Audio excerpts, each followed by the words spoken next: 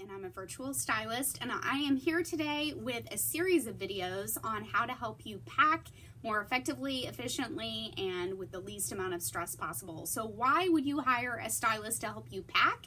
Well, I will tell you, I can help you pack with less amount of time and less stress and you can avoid the whole like I'm packed but I'm repacking and then I'm taking stuff out and putting stuff in and then I'm overpacked and now I'm over the weight limit and I'm super stressed out and I have all these clothes and I don't know what I'm gonna wear for dinner.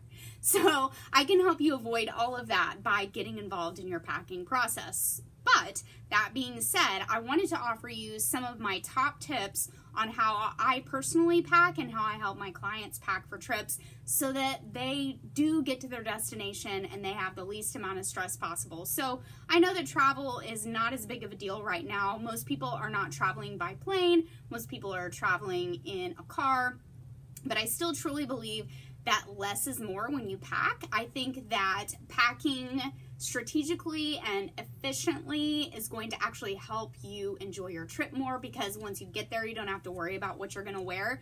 It's just taking another level of stress out of the whole situation. I know leaving your house and leaving town, there's a lot of aspects involved in doing that. And so packing smartly and strategically is going to help you avoid at least that aspect of your stress level. So I can actually pack in about an hour or less, and I can do that for my clients as well. Um, and then I can get them there with outfits that they love to wear. They can wear them multiple ways on multiple occasions.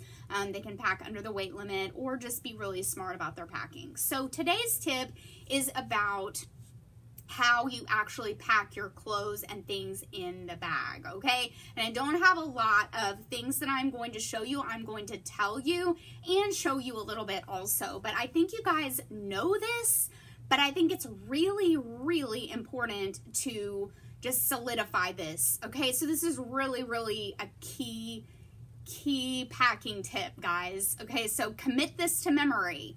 You're going to roll all of your knits also, if you have luggage that's got the little bar things in it, roll, the knits that you roll are going to fit in between those bars, okay? So that's going to take up the least amount of space.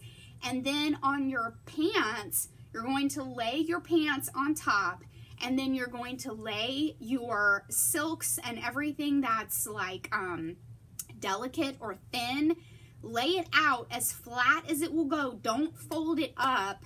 Lay it out flat because that will eliminate the wrinkles. Then put a piece of tissue paper on top of that and then you can pack your shoes. You're going to be super strategic about those because you're going to pack them front to back. You're going to put socks in there and then you're going to try uh, pack all your toiletries and like hair dryer and all the things, all the other things, jewelry bag, all that kind of stuff. So, knits go at the bottom, they roll. Then you layer your pants and you're going to lay them out, okay? So like you're gonna do it just exactly like this, except just lay it in the bag, okay? So as least amount of fabric laying over itself as possible.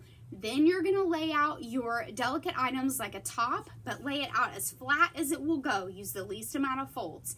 After you do all of the clothes, layer of tissue paper, or if you take a pillowcase, I sometimes lay a pillowcase out. I tend to take my own pillowcases. Lay the pillowcase on top of all of the clothes, mush it down really good, then put your shoes and your toiletries, any other things like that, and you're good to go, okay? And then you can put things in the nooks and crannies, right? To take a full advantage of all of the space that you have available to you. So I hope that helps you guys pack a little bit more strategically. Let me know if you've got any questions at all. I hope I get to see you soon. Thanks, guys.